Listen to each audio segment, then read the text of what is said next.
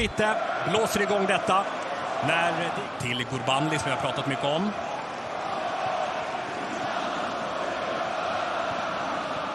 Och här då kan den ballas fram för Wikheim som gör mål direkt! Vi pratade med honom före match. Han har knappt gjort något mål. Det är väl en 12 matcher sedan han gjorde mål och Wikheim gör 1-0 efter en minut bara, norrmannen, till Djurgården.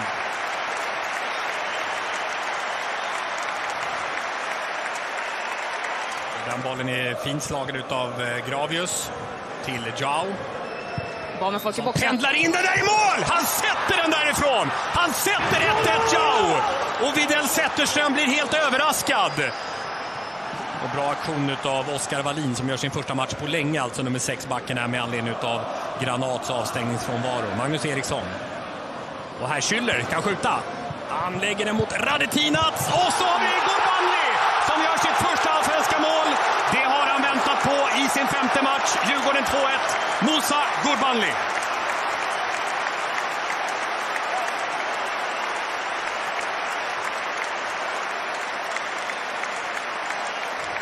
Klass. Wallin Följsam där.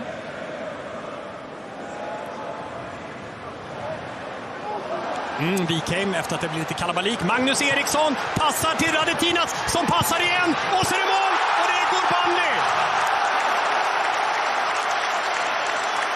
Igen, vilken succé! Han ligger bakom alla tre målen. Två mål, en målgivande passning. Nu har det lossnat för detta nyförvärv. Inåtskruvat i det här läget och Findell och så studsar han i stolpen! Och så är det inte straff som Djurgården vill ha va? Händelserik situation här. Usch. Vem är den ta på? Ja, det är Bossa igen. Bossa igen. Ja. Ja. Flipperspel deluxe. Hugo Bolin har ju tagit Abdullahs startplats kan man säga i anfallet då när han har kommit in som lån från MFF. Här kommer Wikheim till Magnus Eriksson. Tillbaka till. Wikheim, den är tjusig! Och så sätter han den i utsidan av stolpen va? Wikheim. Tillbaka till Dahl som kommer fram och så är det läge för, ja det är straff. Ja, de kom egentligen steget efter hela vägen här. Degerfors ända hela vägen in i eget straffområde. Och tittar vi på Findell här, kolla han tar första touchen med sig. Och därefter kommer Ma- Mamar in. Djurgården 3-1 mot Degerfors. Det här kan vara matchstängande. Musa Gurbanli, redan gjort två mål. Och den tar han! Den tar han! Det blir inget hattrick. Ja, där är allsvenskan världsklass. Magnus Erikssons hörna. Och så Danielsson och där kommer det sjunde hörnmålet för Djurgården den här säsongen. 4-1, Marcus Danielsson.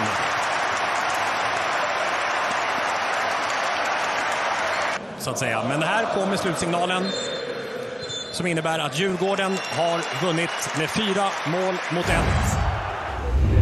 Uh, the game was amazing, uh, and the, the score and uh, the way we played the game, it was really amazing, and uh, the atmosphere, the fans, everything was perfect. So yeah, we are uh, we are very happy with the result and with the game we played.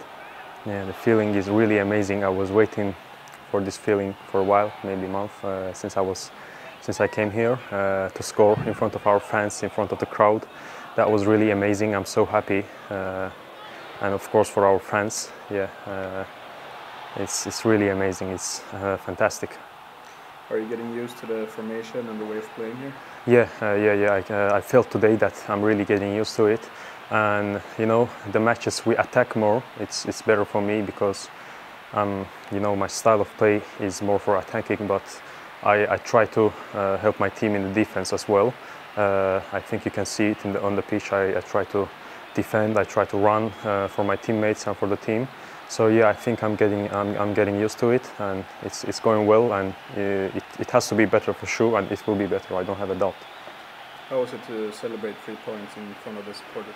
Yeah, uh, it was really fantastic. I told you, uh, I was dreaming. I was dreaming for this moment since I came here, and I'm so happy that that we get it today. The, win and, and uh, the goals for me as well. It was really fantastic, and I love the crowd. I love these fans. They are really passionate, and they, uh, we feel that they really love us, and we love them as well. And we are fighting for the pitch for them.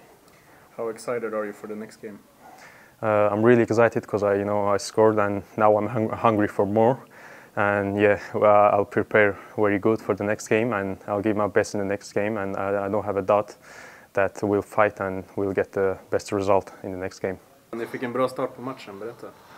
Ja, vi går ut, tar kommandoen med en gang, får en tidlig scoring. Så da får alle få litt selvtillit og får litt, slipper skuldra litt ned, og så kjører vi egentlig kampen fra start til slutt, syns jeg. Bra match i dag. Vad sa ni innan då? Det var bra energi direkt. Ja, nej. vi har haft en bra, eller liksom en bra vecka nu. Eh, jag tror alla gutta føler sig väldigt klara för att, för att komma tillbaka på Tele2 och liksom, och känna på det igen. Det är länge sedan jag har varit här. Så det gav oss eh, helt säkert lite extra. Och så får vi en scoring i tillägg och då blir man ju såklart lite extra litt ekstra gira. Vi har ju slitit lite i offensiven. Eh, eh, Ja, det har vært litt opp og ned, liksom. Så eh, deilig å få skåra en del mål og liksom kjenne at man kommer til å ha mye sjanser. Så vi bare prøve å fortsette å jobbe videre. Fortsette å trene sånn som jeg har gjort eh, det siste. Og liksom fortsette å hele tida pushe hverandre. Så satser vi på at det blir en bra høst utover. Hur var det att få kliva ut på Tele2 igen då? Ah, det er nydelig. Alltid nydelig å, å komme ut kjære Publikum og hele stemninga her gir oss, eh, i hvert fall meg noe ekstra. Helt klart. Ni bjöd på en underhållande match idag. Det gjorde vi verkligen. Eh, det var sjukt kul att spela. Eh, och sen eh, det absolut viktigaste är att ta tre poäng. Och bra match från dig igen. Hur känns formen? Eh, det känns otroligt bra. Eh, just nu är det roligt och man är väl i något slags eh, något flow liksom och det är bara att fortsätta. Hur var det att få kliva ut på Tele2 idag? Magiskt. Eh, första starten som sagt, jag var med, jag var med mot Luzern hemma men nu från start var det en helt annan känsla med all support från läktaren och allting så. Det var otroligt. Känns det viktigt då för självförtroendet i laget att göra så här många mål? Det, det tror jag absolut att det gör. Eh, speciellt på hemmaplan är det extra skönt. Eh, så jag tror nog bara att det stärker oss och ger oss en bättre självkänsla inför, inför kommande match att vi, vi vet att vi kan göra mål, och många mål. Och hur känns samarbetet i backlinjen? Bra tycker jag. Eh, Mackan hjälper mig bra, eh, snackar mycket och styr mig så jag får bra hjälp därifrån. Härligt. Hur kul var det att få fira tre poäng då? Eh, Otroligt eh, med fansen som är här och de ger oss ett otroligt stöd. Eh, med så många som skriker och sjunger och det är bara magiskt. Välkommen till Djurgårdens och Degerfors eftermatchpresskonferens. Dagens match var en allsvenska match och en vinst för Djurgården 4-1. Eh, Båda huvudtränare är här. Eh, Andreas Holmberg från Degerfors och Thomas Lagerlöf från Djurgården. Andreas vill tala först. Tack Andreas. Ja, först och främst grattis till tre poäng. Tack. Ja, vi eh, har pratat mycket om att eh, Djurgården skulle starta på ett bra och energifyllt sätt. Och, eh, de, vi pratade om det innan, att ni inte varit hemma på en månad eh, och spelat hemma och eh, kom ut starkt. Och eh, vi får ju med det en riktigt pissig start. Eh, och får jobba i uppförsbacke direkt. Eh, så det är tungt kommer ikapp eh, och börjar spela upp oss lite och får 1-1 där. Eh, och någonstans, bara några minuter efter, så, så gör de 2-1 och, och 3-1 också. Första halvlek har vi en hel del målchanser tycker jag. Jag tycker att den är jämn spelmässigt. Eh, jag tycker att vi har en hel del lägen där vi bryter boll och kan kontra mot och ha bra omställningslägen som vi inte tar tillvara på.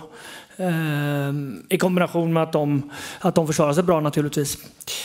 Eh, andra halvlek är väl eh, egentligen bara då eh, har eh, Djurgården ganska stor, bra kontroll på matchen och lagt sig lite lägre. Jag vet inte om det var för att de var rädda för omställningar. Eh, men kontrollerar egentligen matchen, vi skapar ingenting. Eh, så uddlöst eh, tycker jag. Eh,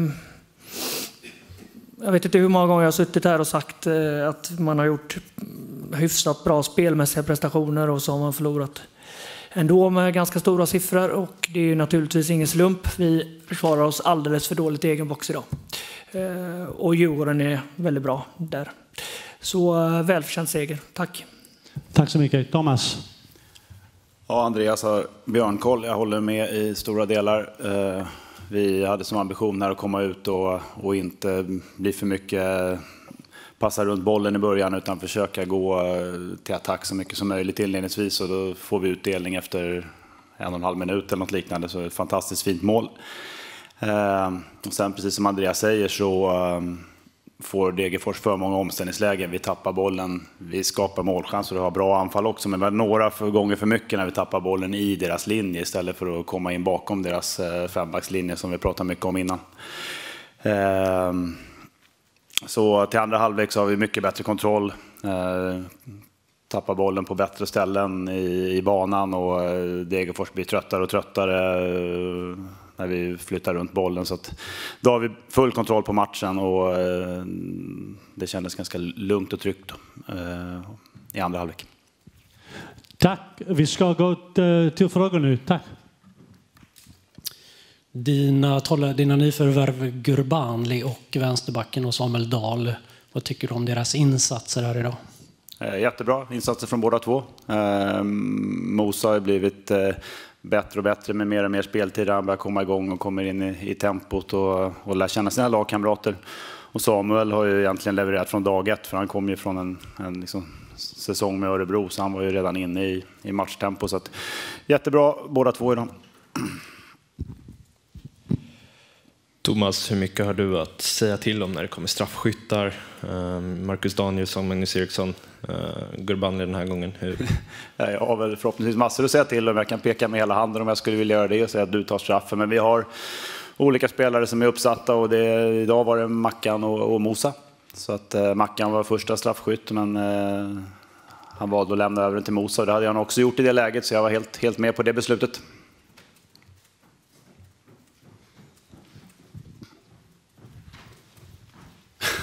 Bra Andrew.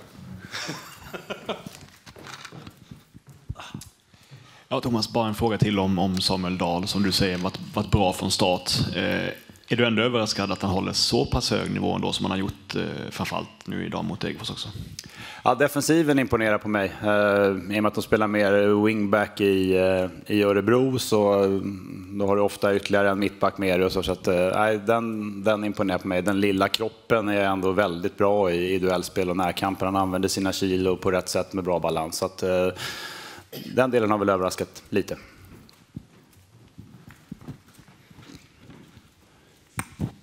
Jag vill berömma dig för bra tempo först och främst.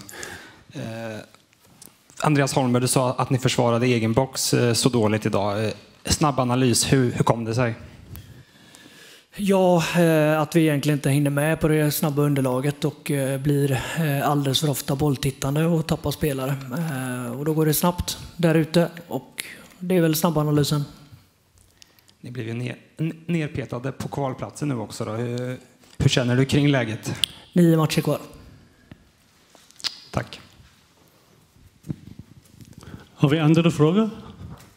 Nej? Ja, okej. Okay. Roligaste presskonferensen hittills. Eh, Thomas, kan du säga någonting om, om Magnus Erikssons sista matcher? Dels mot Malmö men också nu hemma idag mot, mot Degerfors. Hur tycker du det förändrar laget med, med honom på planet? Ja. Uh, ja, förändrar laget. Alla, alla, spelare fyller ju spelmodellen eller spelsättet med, med sina egna egenskaper. Och, och Mange fyller dem ju med sitt bra ledarskap och väldigt många meter. Han är inte den snabbaste fotbollsspelaren där ute, men han täcker väldigt många meter. Och så har han ju en bra fot när det ska slås de avgörande passningarna också. Andra frågor? Nej, okej. Okay. Tack för idag. Tack. Tack. Tack, tack.